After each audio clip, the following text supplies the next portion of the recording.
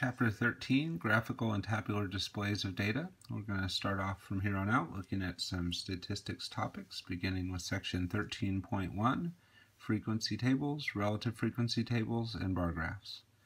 When we start to look at the statistical topics from here on out, um, one of the things we're always going to be considering is whether we have categorical or numerical data or what type of data we have. So let's define those two types. A categorical variable, also referred to as qualitative in, in some other books, um, is a variable that consists of names or labels. The values of this type of variable tends to be given in words rather than numbers.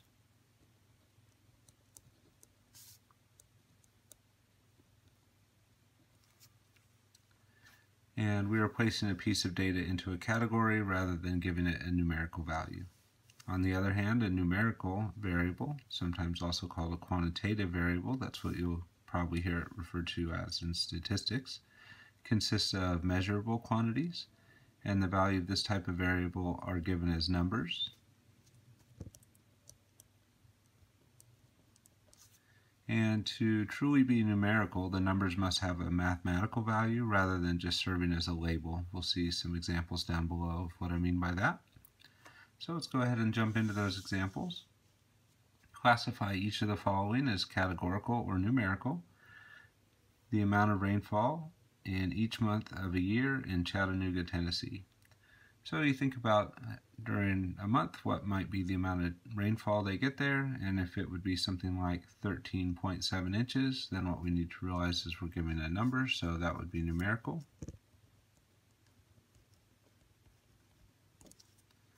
And that's it. So typically when you're trying to do one of these, you want to think about it like I did there. What is an example of a piece of data you might collect? And then just pay attention to, is that a word or is it a number? The breeds of 120 purebred dogs. So we start going through the dogs. We hear things like German Shepherd, and because that's a name, that would be categorical.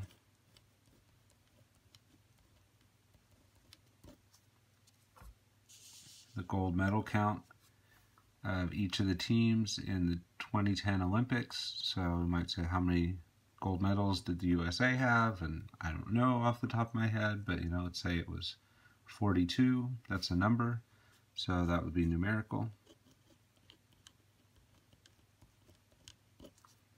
And then to a final one and a bit of a tricky one, the zip code of a randomly selected American. So we could give a zip code like for Chabot, I believe it's 94545. And so because it's a number, you tend to think, okay, that's going to be a numerical variable.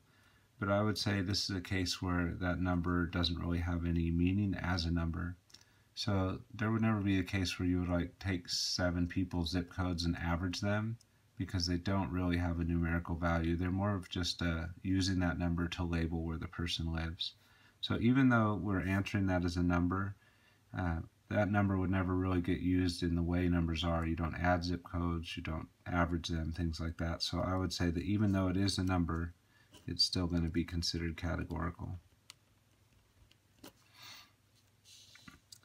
Alright, so data, which I made a reference to up above, when we start observing and collecting values of a variable, these observations are considered to be data sometimes to kind of simplify the idea, I'll say that the question is the variable and then the answer is a piece of data. So just kind of running through these here, the amount of rainfall is the variable and something like 13.7 inches would be a piece of data. Uh, the breed of the dog would be the variable and then something like a Lhasa Apso would be a piece of data. Um, the gold medal count is the variable, something like 42 gold medals is a piece of data. Um, zip code is the variable, and then 94545 would be a piece of data. All right. All right, now that we've seen the different types of data, we're going to look at grouping data. So when we've collected any substantial amount of data, it becomes useful to organize the results into a table. And then the way this works will vary slightly depending on whether our data is categorical or numerical. We're going to focus on categorical for data for now. We'll take a look at how it works with numerical a bit later. So here are the countries of the top 22 women in the 2013 Chicago Marathon. and they want us to make a frequency and relative frequency table and we're going to do that by the country of origin for these top 23 so they've listed them Kenya, Ethiopia, and the US and for frequency you're just going to count how many times something happens so we're just going to go through and say all right how many times did Kenya show up here? And I think it's good to cross them off as you go through just to kind of make sure you've addressed every piece of data in the chart. So for Kenya there's one and it looks like just two. And then for Ethiopia, there's one, two, three. And now you could think about this like if there's 22 women in this table, and we've already taken care of five of them, there should be 17 left through subtraction. So there's a temptation to just fill that in. But you do want to make sure you didn't miss anything. So let's just count up all the US ones and see if it is indeed 17. So 1, 2, 3, 4, 5, 6, 7, 8, 9, 10, 11, 12, 13, 14, 15, 16, 17. So it is easy to miss a piece of data when you're going through on a chart like this. So I would encourage you to always cross off and count every one. And then when you do add them up, 3 plus 17 is 20, plus 2 is 22. Make sure you get the total that you were supposed to. All right, so we filled in frequencies there. So let's go ahead and fill in the definition of that as well. The frequency for a category is just the count of the number of items in the data set that fits into that category. So just like we did, going through and counting up how many fit in there. So now they want us to do relative frequency, so let's see what that is. The relative frequency is just the ratio or the proportion of the data set that falls in that category. Relative frequencies are generally, uh, generally calculated as a fraction and then we usually write them as a decimal and we interpret them using percentages. So we'll see all of that as we go through the table. So if we want the relative frequency for Kenya, we want the ratio of women in this table that are from Kenya. So we take the two women from Kenya, we divide that by the 22 women that are represented in the table, and there's the fraction that we're using to calculate. Here's the decimal that we would write down. Typically with relative frequencies and statistics, we like to use at least four decimal places. So that's what I'm going to do here. 0909, so 1, 2, 3, 4. Next digit is 0, so we stick with the 9.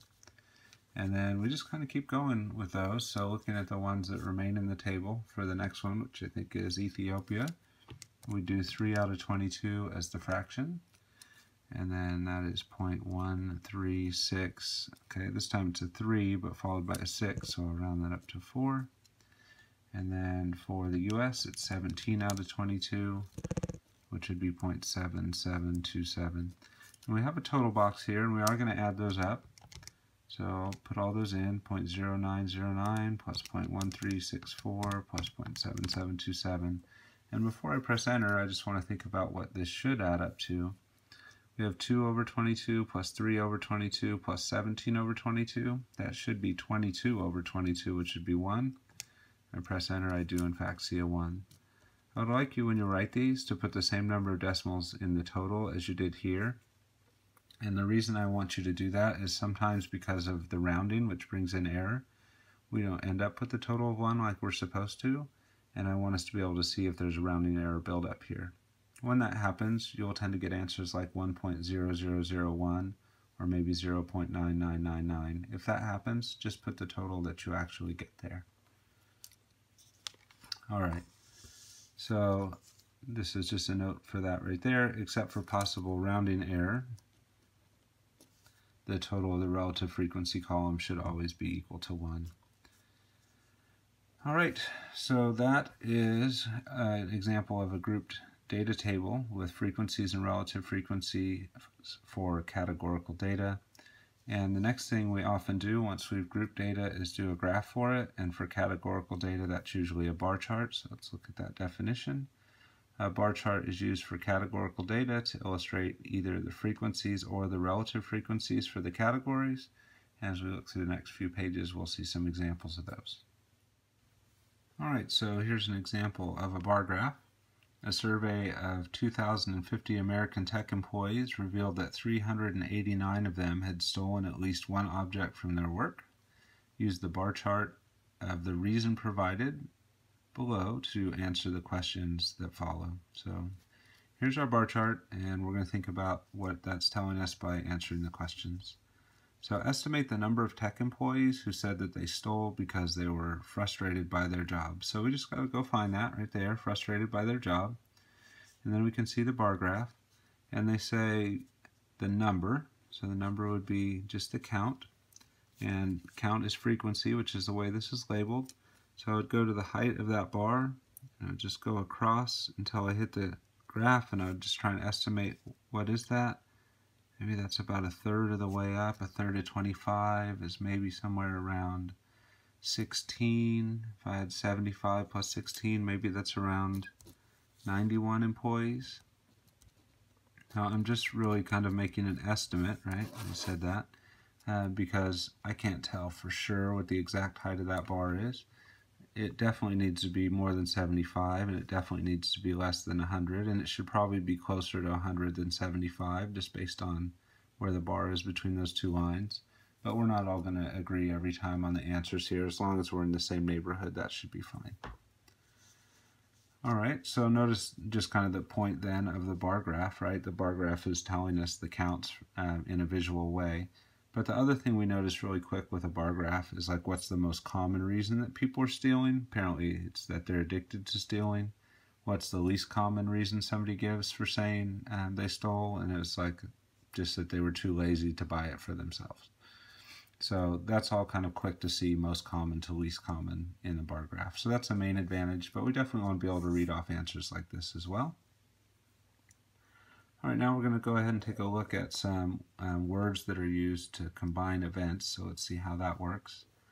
Estimate the number of tech employees who said they stole because they wanted um, they wanted the object or they needed the object. So either because they wanted it or because they needed it. So here's they wanted the object right here, and then here's they needed the object here. And when you get asked to do an OR question and there's more than one bar that meets the description, then what you want to do is add the totals for those two bars. So that means we need to try and estimate both of those totals, looking at those who wanted it, just a little bit above this line, which would be 50. So maybe that's around 58. I thought that one was a 91, so I'll label that there too. Now this one, for they needed the object, that kind of appears to be, I don't know, just the tiniest bit above the line. Maybe that's like 51. So how many people said it was because they wanted it? 58. How many said it was because they needed it?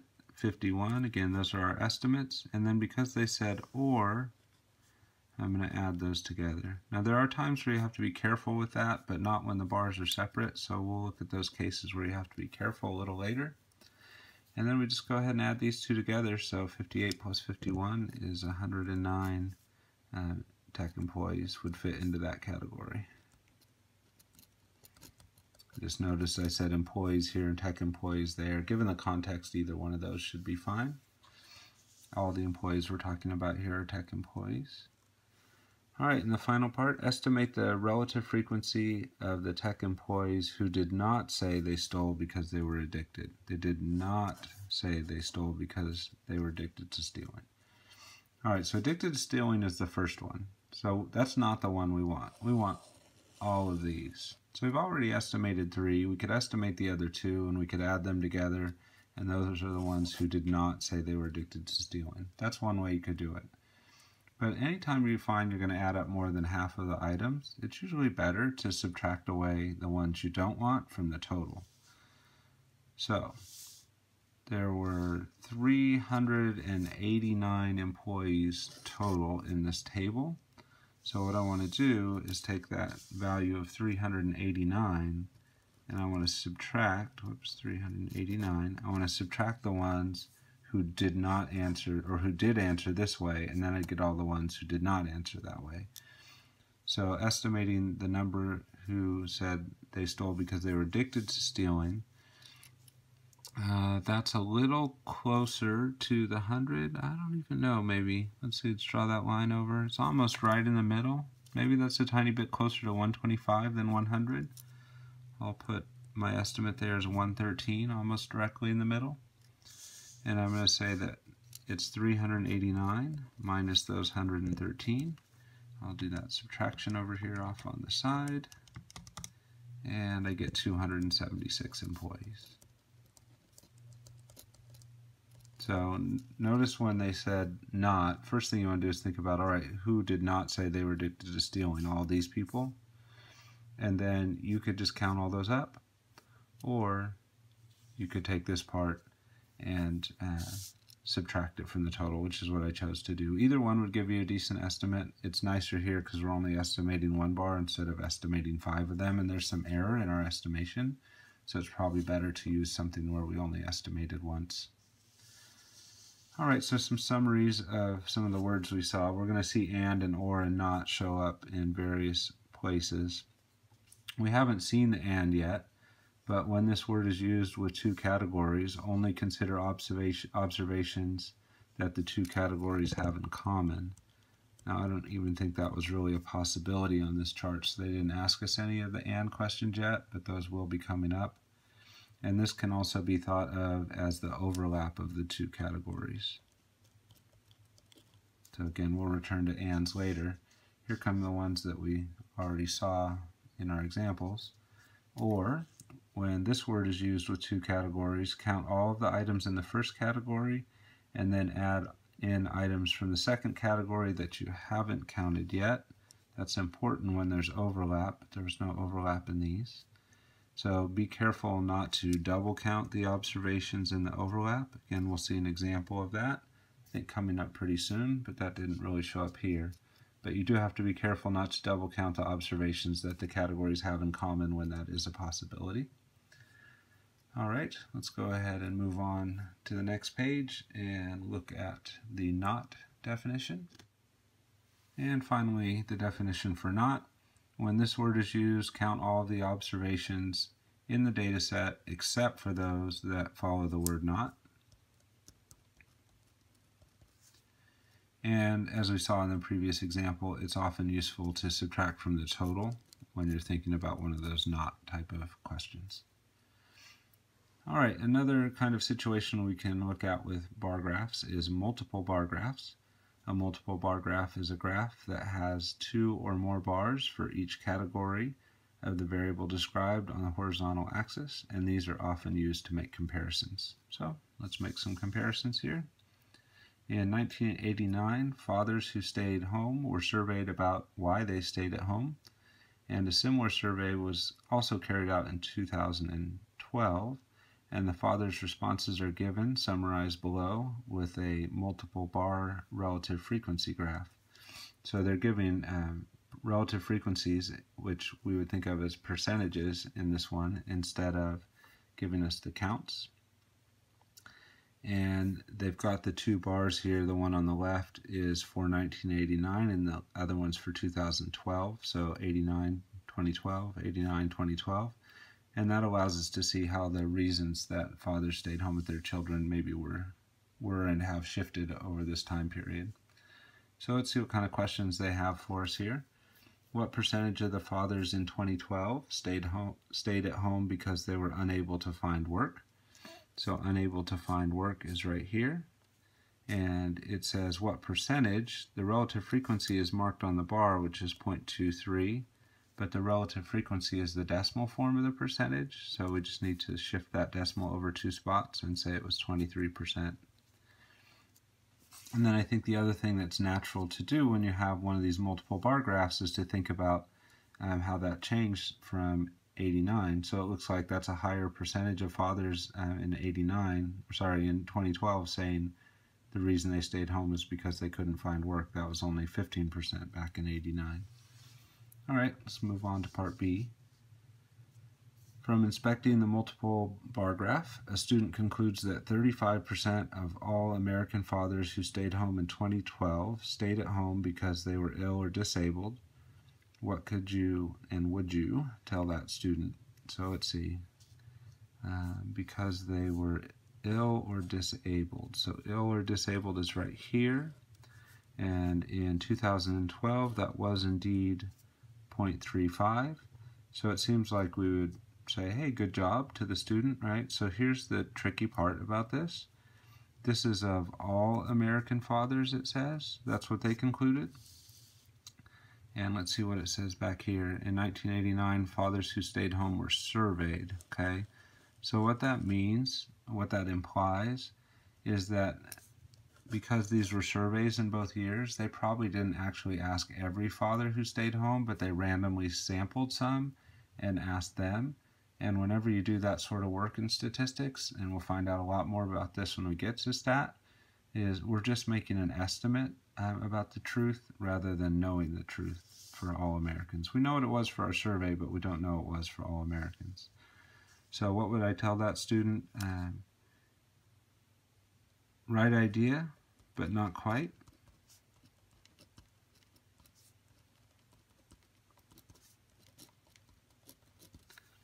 So 35% of the fathers surveyed said this.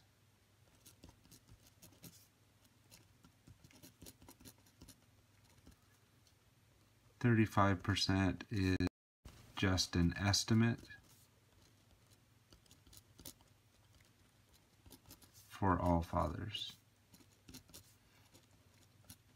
And we'll learn more in statistics about how good these estimates are.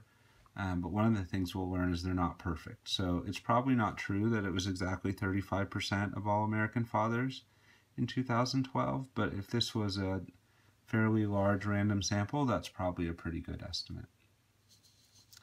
And then which reason would you say changed the most from 89 to 2012? So this can be a little tricky um, because you, you can look at it two ways. Um, you can look at how different are the numbers. So like the difference between the numbers here, let me bring in a different color to talk about this. So the difference here between the 0.21 and the 0.05 is 0.16. The difference here is 0.08. And let's see, between 0.56 and 0.35, the difference there is 0.21. And this one is only 0.03. So there's a temptation, I would think, to just say the biggest difference was with um, the percentage that stayed home because they were ill or disabled. And that's true in terms of that's the biggest difference in percentage points, 21 percentage points. But if you look at the ratio, I think that's a bigger difference for this one, caring for home or family, because that's four times as high now. And if you look at this, four times as high as this would have been 100, 1.40. Nowhere near that, right? So I think the most dramatic change was in caring for home and family. That was only 5% uh, back in 89, but that's 21% now, almost four times as large. So let me say a couple things there. Uh, the reason for ill or disabled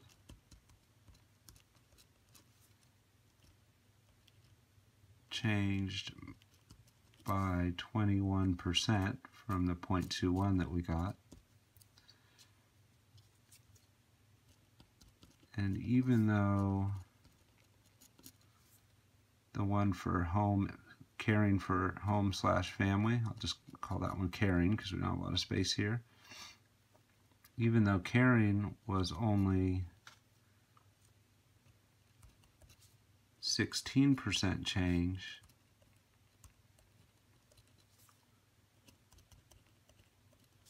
that represented over a four times increase.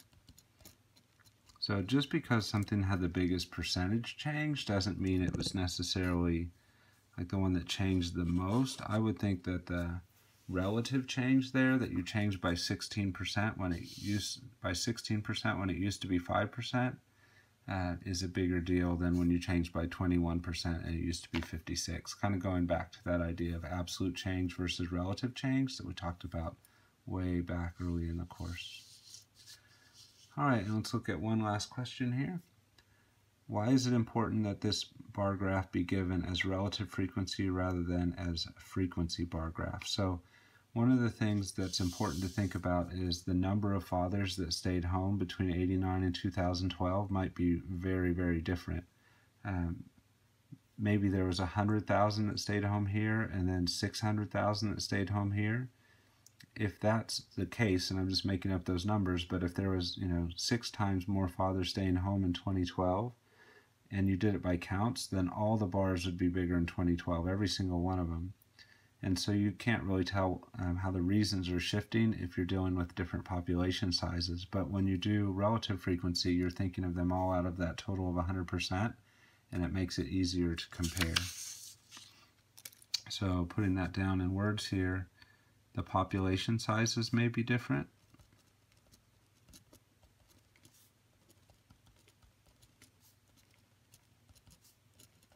You know, in fact, they're almost certainly different and those different population sizes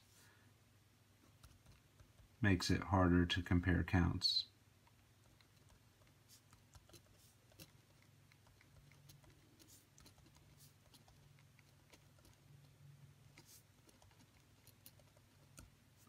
All right, but if we stick with percentages, both have the same total, 100%, and that makes it a lot better for making comparisons.